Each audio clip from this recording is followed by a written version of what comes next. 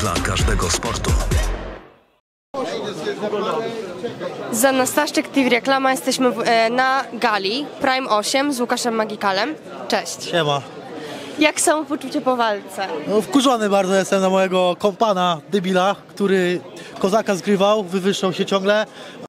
Kanął w tej walce, musiałem walczyć dwóch na jednego z rozwaloną ręką.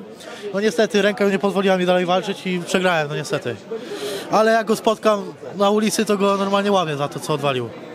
A co masz na myśli? Że nie pokazał, e, żadn- nie, nie, nie wykazał żadnej inicjatywy w tej Nie walce? wiem, co zrobił, dostał strzała i złapał się za barki i udało, że go boli. No co to było w ogóle? Musiałem walczyć dwóch na jednego, znowu. Po prostu został zdyskwalifikowany. Nie spodziewałeś się chyba takiego obrotu spraw, prawda? Gdzieś w głębi z- ten, głowy miałem, że on coś może odwalić, ale nie wiedziałem, że aż tak jest masakra. Chcę go jeden na jeden się z nim bić i go zmiotam, zmiotę z planszy normalnie. Czyli najpierw współpracowaliście, a teraz jest totalnie na odwrót. Teraz chcesz się na nim zemścić. Ja nie byłem zadowolony z tej pary, że go trafiłem do tego teamu, bo to co on gadał o dziewczy- młodych dziewczynach, to powinien dostać w ryj, powinien być połamany. No ale niestety go trafiłem, musiałem z nim współpracować.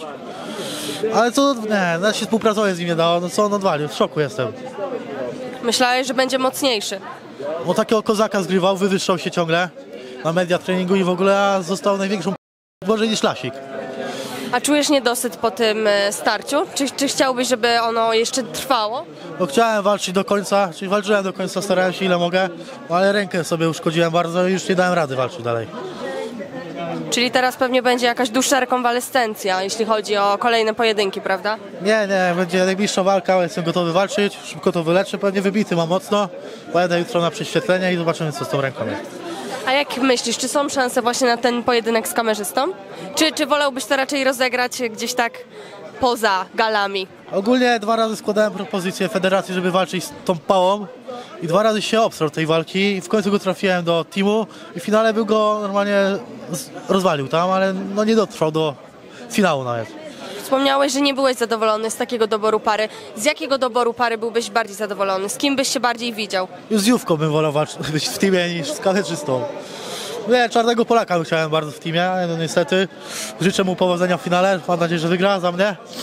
No niestety, tak musiało być. A jak uważasz, e, jak oceniasz sw- waszych przeciwników? Jak, e, jak oni walczyli? Czy spodziewałeś się, że będą tak walczyć? Wujkowi zgasiłem światło, mówił. Padali jak muchy chyba na końcu. No ale no niestety, dwóch na jednego ciężko się walczy, tym bardziej, że sobie rękę uszkodziłem i no, wyłączyło mi tą rękę całkowicie i nie miałem już co zrobić. Czyli jakby była zaproponowana dla ciebie taka formuła indywidualnie, właśnie dwa na jednego, to raczej nie zgodziłbyś się na coś takiego. No, Zależy z kim, ale na razie już mam dosyć walk teamowych, dwóch na jednego czy coś. Teraz chcę walkę jeden na jeden, się dobrze przygotować i pokazać z lepszej strony. Ja mam nadzieję, że się dobrze pokazałem. Dziękuję bardzo za miłe, pozytywne komentarze. Okej, a obawiasz się jakichś negatywnych komentarzy? Czy myślisz, że raczej będziesz propsowany? No, zrobiłem co mogłem, walczyłem do końca. No niestety ręka, nie? No niestety. Okej, a jak, jak, jak myślisz, czy, czy złożysz taką znowu, ponowną ofertę właśnie federacji, jeśli chodzi o twoje starcie z kamerzystą? Czy będziesz chciał, żeby, żeby doszło do tego po prostu na Prime, w, na jakiejś może kolejnej gali, jak już właśnie twoja ręka się zaleczy, jak już dojdziesz do siebie? Wątpię, że się zgodzi na walkę ze mną, bo nawet do szatni nie przyszedł po ciuchy, tylko dziewczynę wysłał, takich obstrony chyba był. Czyli teraz pomiędzy wami iskrzy. A już zwróciłem uwagę na zadymię drugiej, która była w środę. O to, co mówił, że pochwalał Stu i że dziwi się, że tam młode dziewczyny się pakowały do łóżka. No co to za impreza w ogóle? I chłop popiera, że 14, 14-latki były na imprezie. Co to jest w ogóle? Takich się powinno w ogóle usuwać z internetu.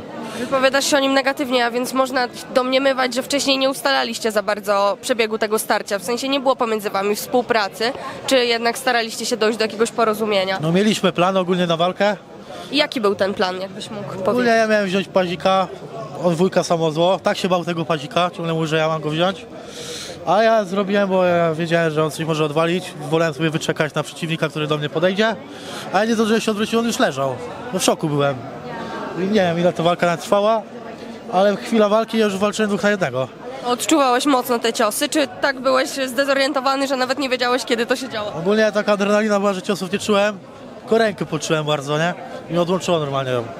Czy będziesz chciał dzisiaj pogadać z kamerzystą, e, z nim to wyjaśnić jakoś tą sytuację, czy, czy odpuścisz to sobie już spróbujesz się jakoś zrelaksować? Chyba zniknął ogólnie już z, z gali chyba.